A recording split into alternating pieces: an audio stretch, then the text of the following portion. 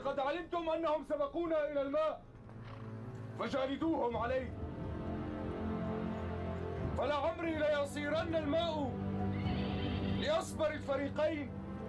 ما أن ينقضي شهر رمضان حتى تنطلق الاستفتاءات سواء في المطبوعات الفنية أم المواقع الإلكترونية حول أفضل المسلسلات وأفضل الممثلين والممثلات وأسوأهم أفضل الوجوه الشابة وأسوأها وأفضل المخرجين وأفضل الإعلاميين.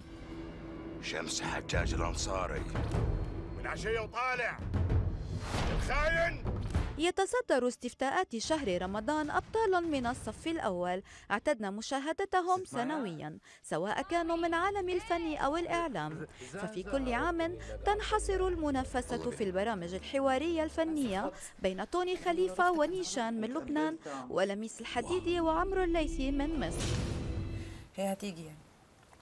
تبقى تقول لك بقى designs الجديدة صح؟ ومن الفنانين الكبار يحيى الفخراني ونور الشريف وأيمن زيدان وسلوم حداد يسرى وليلى علوي ومنى واصف وأمل عرفة. ينضم إليهم هذا العام مجموعة من أبطال السينما الذين دخلوا عالم التلفزيون لهذا العام على رأسهم عادل إمام.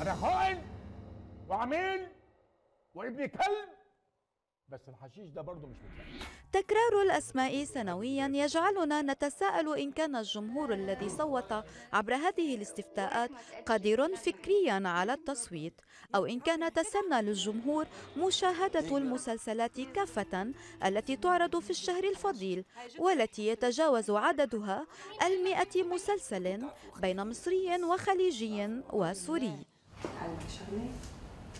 إذا بدك تسلم على ليدي Olsun yine. Lütfen rica ederim.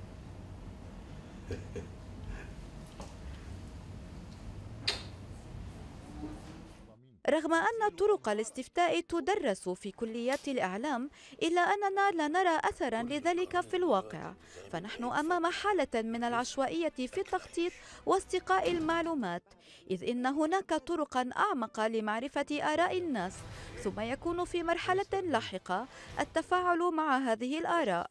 وطالما أن هذه الاستفتاءات ما زالت تفتقر للأسس العلمية والأهم الشفافية فهي لا تعبر عن الحقيقة وإنما تتبع الأهواء الشخصية للقائمين عليها إلى أنه لا ضمان أو وسيلة للتحقق من نتائجها.